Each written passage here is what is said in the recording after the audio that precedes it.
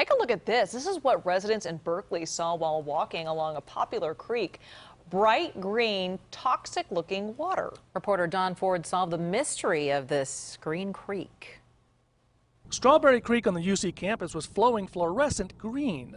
Some folks were alarmed.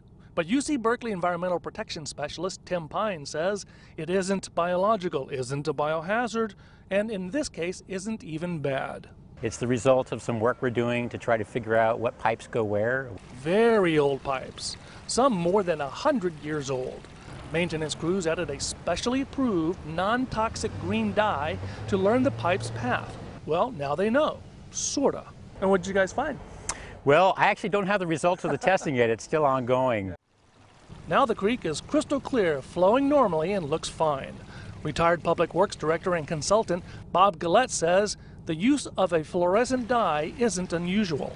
Standard practice in the industry, both for plumbers and cities, maintenance crews uh, all over the country. The university says they may need to use the dye again as work continues upstream.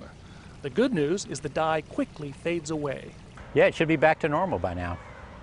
In Berkeley, Don Ford, KPIX 5. The construction will continue throughout the summer.